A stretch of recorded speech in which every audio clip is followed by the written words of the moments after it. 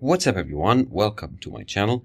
In this video I'm going to give you a quick overview tutorial of the Globo app on Shopify to add products options. So you can add uh, unlimited options, variants to products and so much more. So here I'm on my Shopify store. As you can see I've created a new dummy store just to show you the way. And what you need to do is to go here to apps, click on add app from the menu on the left and scroll down a bit, click on Shopify App Store. And in the search here, you just need to type in Globo, hit enter. And here it is, the Globo product options and variant. They have a free plan available and it's highly rated. It's also built for Shopify, so you know you are going to get a real good app here to uh, do exactly what it's supposed to do. Now click on it. Click on install and then in the pop-up here that opens up, click on install once again, and the app will be installed. And you'll be redirected directly to the app's dashboard. And here you have some of the options that you can do. Create option set, integrate a theme here, or customize the widget. Now, before we dive into the settings and try the app itself, let's go ahead and create a sample product. So go to products here, and I'll just add a new product and here I'll just uh, choose a hoodie or type in hoodie. And in the media here upload just a random image of a hoodie. Okay I know I have one here. Okay here it is the uh, hoodie image. Okay open it. It's just a basic black hoodie. And here uh, the pricing let's add a price pretty quickly 300 compare price 350 okay. And here I can add variants. So you can add variants in the product uh, page. However they are uh, limited. So you can add color variants size fabric age group clothing features neckline, neckline target gender and top length type. You can create custom options. However using an app like Globo is much more easy. So here let's save. And now the product is created. Now let's go back here to the apps and then click on Globo product option to open up the app dashboard once again. And let's create an option set here.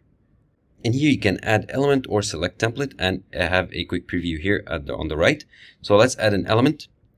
I can add a single input here, a text, uh, text area number. So you have much more control over the variants that you can add compared to the product uh, default variants a static text like heading, divider, spacing, and so on. So let's add here a, a single input text. And as you can see here, it appears on the product page. And if I click on the text here, I can have the all these settings. So this is like the label. It says text. For example, uh, if I want to collect more info about the customer who is buying this product, I can uh, just, for example, um, say mobile number let's say for some random reason I want to collect their mobile number. And uh, if this is a required field as you can see a red icon here appears which indicates this is a required field.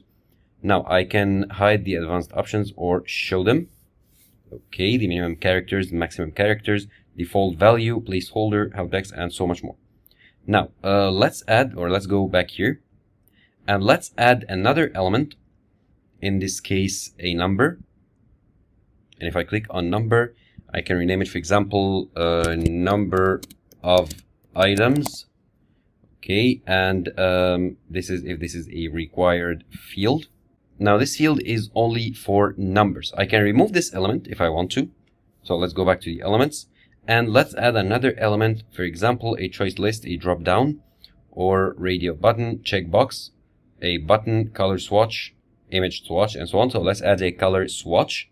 If I click on color swatch, I can add colors here. So this is a uh, good way for your customers to choose the colors of the product from the color swatch. Let's say here, for example, white. And let's add another option value. Let's choose a red color. Okay, or you can even choose two colors if you want to. So if I'll just select these two colors.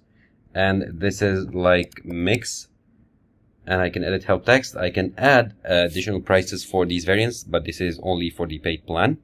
Let's add another value. Let's name it bright red or bright green.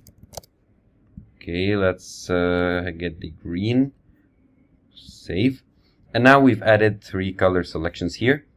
I can bulk add values here if I want. However, I won't do this right now.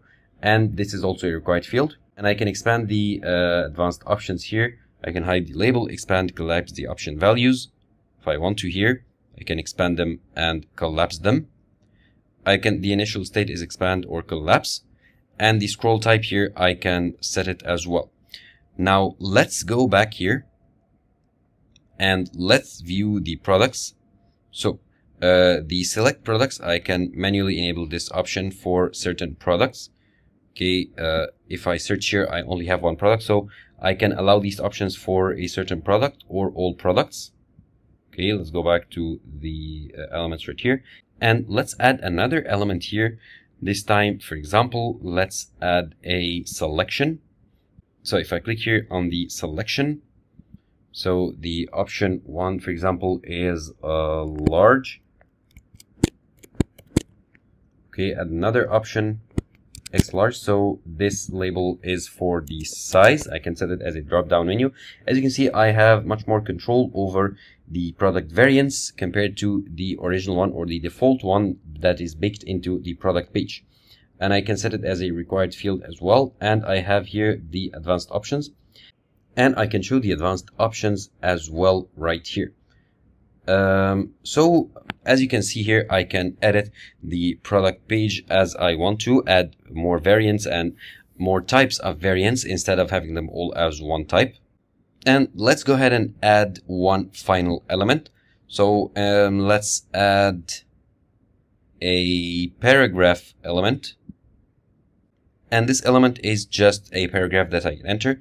Let's say uh, make sure to select the right size for you. Okay. And I can edit the style, add link, and so much more. So if I, can link, for example, to a photo that has the size chart for the uh, product that I have. Okay, let's go back. And once I'm happy with all the uh, designs that or settings or changes that I created, simply save here and okay, I need to select a product. So let's select manual product or select all products. Okay, save. And now my variants are added.